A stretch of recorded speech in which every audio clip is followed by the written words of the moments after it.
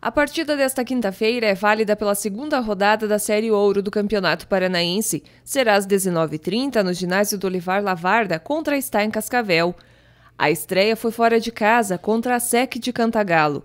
No último final de semana, o Unidep venceu por 3 a 0. A gente vem de uma preparação bem intensa, faz dois meses que a gente está trabalhando. Tivemos o êxito de conseguir a, a vitória fora de casa, um jogo muito difícil, foi 3 a 0 mas a gente conseguiu abrir o placar no último segundo mesmo, foi apertado até o final. A gente sabe do potencial do Stay, que é atual campeão da Copa do Brasil, atual campeão paranaense. A gente espera fazer uma grande partida, fazer um bom jogo. Fazer o segundo jogo do campeonato em casa, após vitória fora, traz um ânimo a mais para a equipe. A gente sabe o quanto o paranaense é difícil, quanto que a gente gente vai ter dificuldades nos nossos jogos, mas com, com certeza a vitória no primeiro jogo é muito importante e a gente espera que contra o Stein a gente consiga fazer um excelente jogo. A gente está em casa, está na nossa casa, a gente conhece a nossa quadra e com certeza a torcida vai fazer a diferença num jogo tão difícil e tão importante para a gente. A gente sabe que tem que fazer contra todas as equipes paranaenses, o campeonato paranaense é muito forte, a gente tem que fazer uma boa marcação, aproveitar as oportunidades.